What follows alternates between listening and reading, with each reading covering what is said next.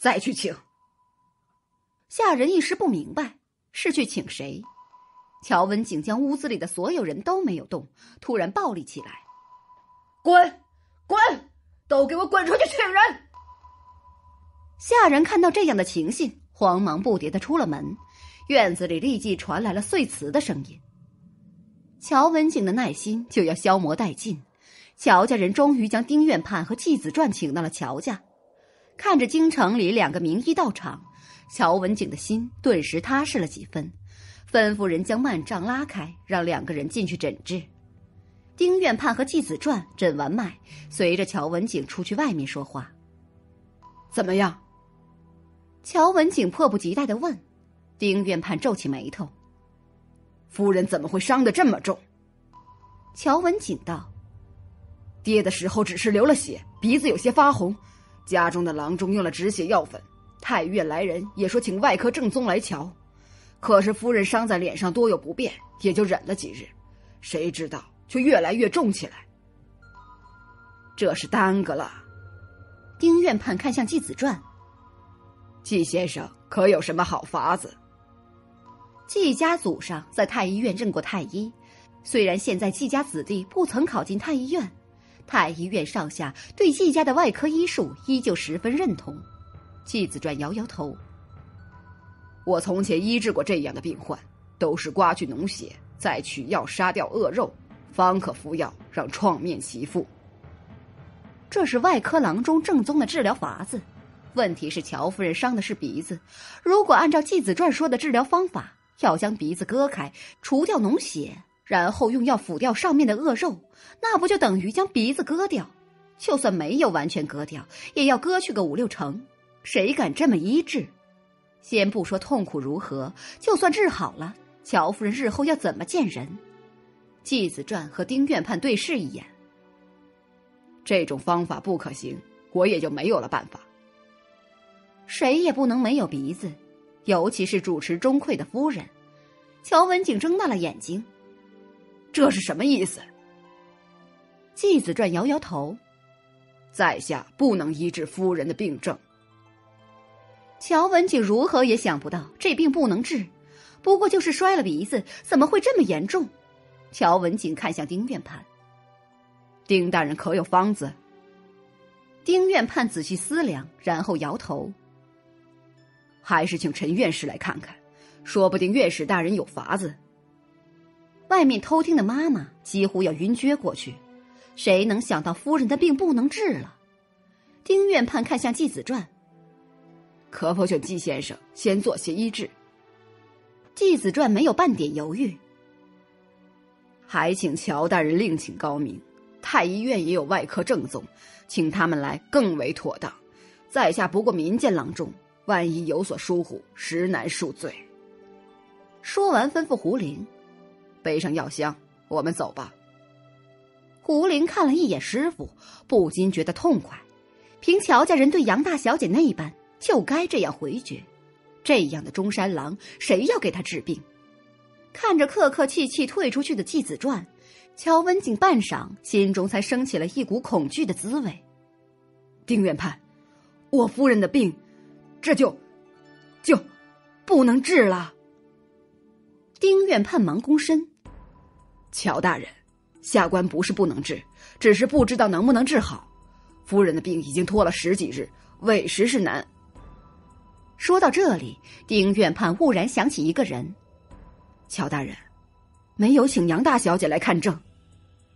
要说能治好，定然就是杨大小姐那般的医术。杨氏。怎么又是杨氏？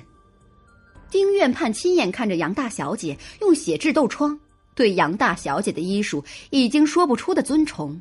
现在说到杨大小姐，如同谈起自己的抱负，眼睛发亮，神情激动，仿佛替乔夫人找到了一条活路出来。乔大人，您的病不也是杨大小姐治好的？乔文景听的这话，脸上一热。抬起头看向丁院判，却没发现丁院判脸上有着讽刺的意味。丁院判很是激动，提起杨大小姐眉开眼笑，很有精神。乔大人没看到，丁大小姐将杨家的秘方拿出来，现在所有的药铺都在制杨梅疮，大小姐连那些贱籍的女子都不嫌弃。这样的医风，乔大人让人去请杨大小姐，定然会来的。他之前设计杨振廷杀了杨氏，现在竟然要请杨氏来治病。乔文景的心情说不出的晦暗。她一个女子，懂得什么？可不能这么说。丁院判为人耿直，要么不说，要说就要论出个结果。乔大人，医术上没有男女之别，治病救人都是一样的，那可是关乎到性命，半点马虎不得。要说男女之别，杨大小姐还救过您呢。这个丁科就要揪着杨默救过他的事说一整天不成？乔文景的火简直就要烧起来，想要跳起来叫丁院判踩扁，看他还能说出尊捧杨氏的话。我说不行就不行，丁院判行医多年，总比一个女子有法子。丁院判摇头，一本正经的和乔文景论起来。就说杨梅疮，杨大小姐将方子传下去。民间多少药铺都学会了，我们太医院还要悄悄的去打听药方。杨大小姐虽然只是个未出阁的女子，偏有旁人不会的医术。人人分贵贱，可都会生病。乔大人不要看杨大小姐只是个民间女医，要看她的医术能救活乔夫人。乔文景瞪着眼睛，愤怒的看着丁科，这人简直不懂察言观色。就要这样没完没了下去。丁科这几天听说杨氏在保和堂的座位，回到家中总要提壶酒赞个好。偏偏太医院里没有人敢议论，正觉得憋得难受。现在总算找到机会能畅所欲言，当然要说个淋漓尽致。乔文景却已经听不下去，不要再提杨氏。以为他不愿意请杨氏，整件事闹得沸沸扬扬。请杨氏，那不是用自己的鞋底抽自己的脸？丁科被看得一怔，向乔文景躬身。良药苦口利于病，下官也是一心为了夫人着想。乔文景按耐不住焦急的站起身。丁院判开方子吧。乔家的事，杨默不清楚，现在他所有的精力都在那些杨梅疮的病患身上。醒了，醒了！张眼边跑边喊，走到保和堂门口，差点摔了个跟头。他却顾不得许多。杨大小姐，那个病，那个病得很重的病患醒过来了，你快过去看看吧。这是治疗起了效用，周围的医生郎中顿时七嘴八舌的问起来。张眼顾不得回这些人的话，毕恭毕敬的看向杨默：“大小姐，真的，真的有效了。”杨默点点头，正要带着人去看病患，抬起头就看到走进来的丁科。丁大人，杨默蹲身行礼，其他人才回过神来。太医院的院判大人到了。太医院来做什么？该不会是因为杨梅疮的新方子？院判大人，保和堂可都是照周律行事，我们都能为杨大小姐作证。听到周围的声音。丁科不禁皱起了眉头，太医院在人心里已经到了这般不堪。丁大人，杨默道：“已经有病患用了药醒过来，大人跟我们一起去看看吧。”丁科跟着杨默一起去了张家药铺，药铺门前已经围了不少的人。张岩走过来道：“大家让开去，杨大小姐来了。”从前药铺上说起杨大小姐。都是谩骂调笑声一片，而今谁也不敢当众说出什么话来。杨默身后跟着的人也越来越多。杨默走进屋子，床上的女子正看着绿珠。我死了，我梦的，我死了。绿珠摇头：“姐姐没死，杨大小姐将姐姐救活了。杨大小姐说，我们的杨梅疮都有可能会好转。”姐姐还会和从前一样。女子听的这话，眼角淌出一行泪来，再抬起眼睛，看到眼前一个女子穿着奇怪的打扮。杨默低声道：“别害怕，这是怕互相染上病气，我们才这样穿戴。”绿珠道：“姐姐，这就是杨大小姐。女子点点头。哦不，怕最可怕的，我都见过。大小姐，这样真漂亮。她是真心话。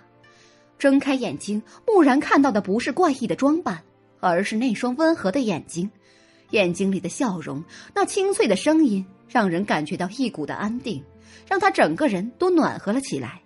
这样是最漂亮的，真是最漂亮的。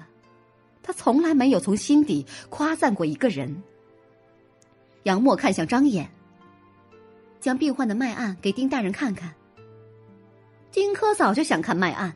大小姐这样一说，正中他的心思。在太医院里，他碍着自己的身份不能过来，现在好不容易赶上，自然要从头到尾学个清楚。绿珠道：“我和姐姐都不热了，这里的病患大多数也都好转了。”张眼看了一眼绿珠，绿珠年轻，身体底子好，昨日下床之后就一直帮着他照顾其他病患。这个心善又做事利落的女子。可怜那么年轻就沦落风尘，大家正说着话，两三个人拎了个婆子进门。有人还在街面上败坏大小姐的名声。婆子被推了进来，绿珠看过去，这是我们妓院里打杂的婆子。那婆子见到绿珠，躲躲闪闪。绿珠走上前，耿氏，你就不怕哪日烂了舌头？老鸨给了你多少钱，让你这样乱说？更是看到两边站着那么多人，不禁舌头打结。绿珠姑娘，你是自己赎了身子，老婆子一家还要生活。绿珠冷笑：“要不是看着我们姐妹染病必死，妈妈哪里肯这样打发我们？我们是被人卖了，身不由己。你是一心为了钱财，就不怕天打雷劈？”更是心慌。我也，我也，不是要这样。我也没说什么，是谁呀？是谁买保姆做这种下贱的事？听到这里，丁可也很想知道整件事的来龙去脉。是乔家那个姑娘早就说了，是乔氏郎家。人分贵贱，德行也分贵贱。丁科不禁惊讶，他没想到乔侍郎竟然会这样害杨大小姐。怪不得提起杨大小姐，乔侍郎一脸的遮遮掩掩的神情，仿佛深有隐疾。绿珠道：“大小姐，我们姐妹已经商量好了，您和各位先生的医病之恩，我们只有用清清白白的银钱来报。”绿珠说完，就有病患起身帮绿珠端了一盆水来。绿珠几个将银钱扔在水里，大家将银钱投进去之后，绿珠看向耿氏。你将银钱拿出来，也扔进水里看看，可比我们干净吗？药铺里立即传来哄笑的声音，耿氏不敢抬头。这些姑娘疯魔起来，谁知道会做出什么事？这些人竟然会因为保和堂的大小姐得罪老鸨和朝廷官员，这些姑娘真是不想活了。你们这些人乱说话，就不怕死的难看？绿珠看看左右的姐妹。我们都是在煎熬中等死的人，你的话可吓不到我们。我实话实说，之后就等着阎王爷来取我的性命。绿珠说着，向前走了两步。我死之后，也要到你床前，顺便拉上你，免得没人陪我们姐妹说话。蒋氏生怕绿珠的病传给他，他向后退两步，却没想踩到自己的脚跟儿，四仰八叉摔在地上。药铺里传来哄笑声。杨默从药铺里出来，丁科也去了保和堂说话。魏毛几个将杨梅窗病患的脉案交给丁科。杨默道：“丁大人，看看这些脉案，这是从接诊病患之后就仔细记录的。一共有三十二例病患，二十九例染上疟病，现在已有十六例退热，三例病患已明显好转，七例病患病情有所改善。”丁科低头看着一本本脉案。就算是太医院试新药，也不过如此。他就奇怪，一个十几岁的大小姐，怎么就能想得如此周全？生像是一个有着几十年甚至更久经验的医生在教杨大小姐。如果真的有这么一个人，那个人的学识是他们都望尘莫及。丁克微怔，半晌才道：“治阳霉疮、痘疮、败血症、破伤风，这些病的方子到底是怎么找到的？”旁边的人就道：“丁大人，这都是我们杨大小姐的方子呀。”他知道这都是杨大小姐的方子，可是不禁让他觉得有种恍惚的感觉，仍旧忍不住开口询问：“这是杨大小姐的方子呀？”杨默迎上丁科的目光：“丁大人，这次救治病患有了好结果，不管是谁的方子，日后遇到杨梅疮病患都不会束手无策。杨大小姐以后能让我们用这方子治病患？”张眼不禁惊讶的问出口，杨默点头。只要这次治愈的病患够多，这样的治病法子能使用，大家再接治这样的病患，就可以让我过去一起辨诊。我会一直看着大家治症，只要大家方法正确，完全按照我的方法来实行，我就答应从今往后可以用我的法子治病。就这么简单，不需要银钱来买方。张眼道：“就。”就这样，杨默微笑。就这样，不过必须要按照我的本方医治。无论谁想要改这方子，都要将我说服。屋子里的气氛忽然变得欢欣起来，谁也没有料到会是这样的结果。杨默站起身，忽然想到一件事：等药铺里的病患离开，大家要将保和堂的旗子还回来。是呀。还有保和堂的旗子，刚刚张眼还偷偷的想，能不能这样一直挂着？想想这几天外地来的医生和药商进到京城，都傻傻的四处问：“这是怎么了？这是在做什么？怎么都变成一家药铺了？”张眼就觉得好笑，这些人真没见识，难道不知道保和堂在是新药方吗？从今往后，他们就有新药方了。丁科徒步走到药铺街面，见到两边的药铺开始将灯笼挂出来，忽然好像忘记了什么事情。仔细想想，他才想起来，这次来是要向杨大小姐问诊乔夫人的病情，看看杨大小姐有什么法子。既然乔家这样害杨大小姐，他也没有必要给杨大小姐添堵。丁科挥挥袖子，吩咐身边的小厮，将保和堂的脉案仔细拿好了，明日。还要原封奉还。丁科话音刚落，雨点从天上掉下来，小厮连忙上前伺候丁科撑伞。卖案，我的卖案！丁科皱起眉头，立即从小厮手里接过卖案，然后藏进怀里。杨默在屋子里换衣服，保和堂的病患都离开了，明日就要将药铺恢复原状，他少不了多嘱咐江掌柜几句。说完了话，雨已经下得很大，天空也阴了下来。小姐，梅香低声提醒：“您说今天要去给周爷看证的，好久没有给周成林检查了。睡觉的时候想起来，心里有一种不太踏实的感觉，于是想着今天要去给周成林做些检查。谁知道早晨到了药铺，一直忙到现在。”杨默想到这里，站起身吩咐梅香。打发人去问问周爷现在在哪里。梅香应了一声，转身去吩咐婆子。杨默还没有穿好外面的长衣，婆子进来道：“周爷在外面等着呢。”这么快，应该早就等在外面了。